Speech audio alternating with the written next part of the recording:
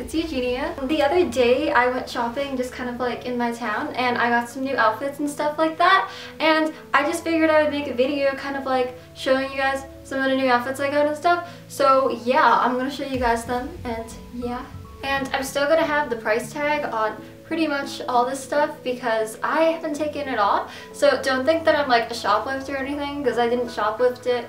I'm just stupid and don't take the price tag off yet. So I found these bat ears and I was just like, these are the coolest things ever because then I can be like a bat, you know? I got these pants and yeah, they're just like black and they have like white dot things. I got this shirt um, that's just like lace on the sleeves. The zipper is actually supposed to go like in the back. I'm basically wearing it backwards, but I kind of tried it on by accident backwards, and I kind of liked how it looked better backwards than forwards, so I was just like, I'm gonna wear it backwards because I'm just gonna be cool like that and wear backwards shirt, so I'm I'm wearing it backwards. I got this like black sweater thing, it's just all like see-through-ish and stuff.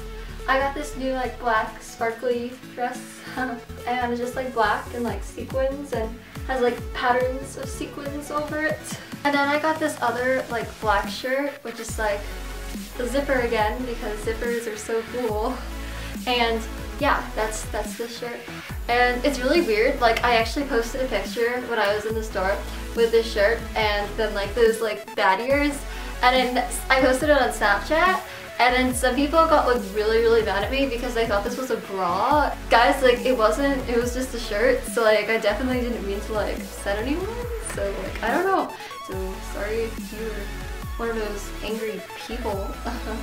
Alright you guys, so those were the outfits that I bought. I just kind of figured I would make a video showing you guys that and hopefully you guys liked them maybe and give this video a like if you enjoyed it and like let's see if we can get to like two likes because that would just be so many likes like and subscribe to my channel if you want to see like more videos from me and stuff. Alright, well I'll see you guys next time and I love you all so much. Alright, bye!